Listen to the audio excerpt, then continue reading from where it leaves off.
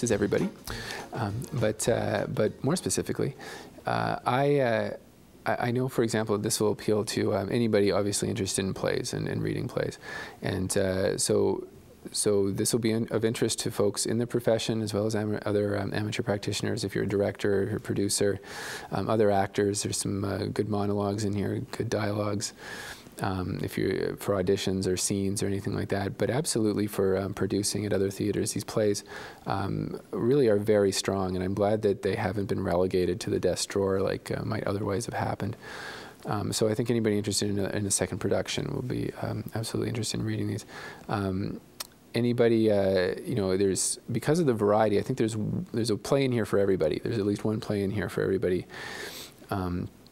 And because of the way that Athabasca University Press works, that it's it's a, uh, you know theoretically a global extension because you can find these plays uh, and you can produce them. You can be anywhere. You can be in Singapore. You can be in South Africa, and anybody can really have a have a chance to to read the play and then and then um, discuss with the playwright about uh, production royalties and, and producing them. Um, and uh, and also for scholars, absolutely. So um, uh, for theater scholars, there's a there's a good bit of um, sort of sociocultural uh, history um, pegged specifically to Walterdale, which has uh, so that is that has impacted uh, Edmonton theater. You know, since it's Edmonton's oldest theater, longest running theater right now, um, outside of uh, studio theater at the University of Alberta, and um, so uh, anybody who's interested in performance studies and theater studies, I think, is going to find something interesting in here. It's, it tends more toward the historical bent. It tends more toward um, sort of events.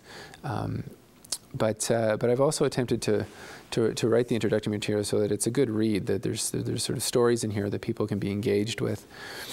Um, and you can pick and choose if you're interested in some parts and not others, or you can read it from cover to cover. But also, um, anybody interested in history, Alberta uh, historians, Canadian historians, Edmonton historians, absolutely, um, will find interest in, in, in, this. So there's a, uh, and anybody I think too who's interested in um, professionalization of practices, and this is something that I've become more and more um, interested in my research and looking at is how how um, arts practices professionalize and uh, reasons why they don't.